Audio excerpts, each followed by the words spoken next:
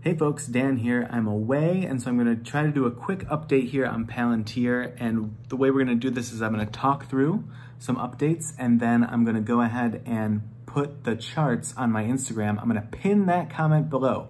So go to that link if you wanna see the charts that I'm talking about in this video. So Palantir the last three days has started to put in a little bit of an uptrend on the daily chart. You'll see that originating right around that $15 level.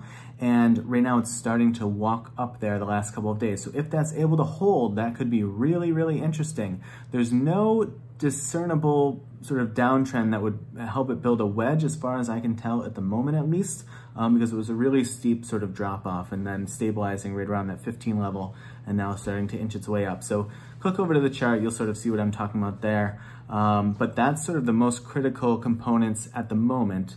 Uh, the level I have below where it is, and right now it's power hour, on August 15th. Uh, 1546 is where it is. Trying to hold that 1505 level. I have a pretty big gap from 1505 to 1603.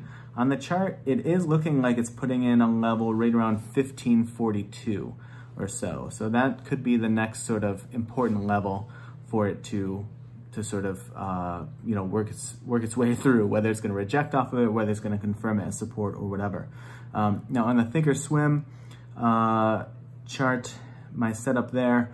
It's It bounced off the bottom bound of the channel. Basically, it came, you know, very, very close, and now it's trying to build back toward the center range of that channel. So that's really good motion as far as I'm concerned, gives it some, some capabilities there. I would almost worry more if it hadn't reached the bottom bound of that channel, but got stuck sort of mid to bottom range, kind of like in no man's land, and then started to build back.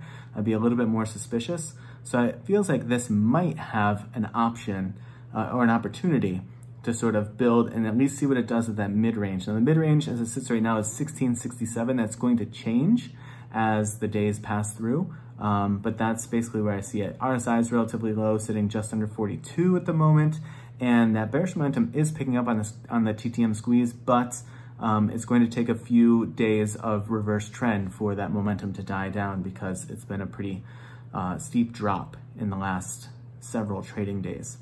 All right, folks, I hope that your week is off to a good start, and I appreciate you watching, and I will see you in the next video.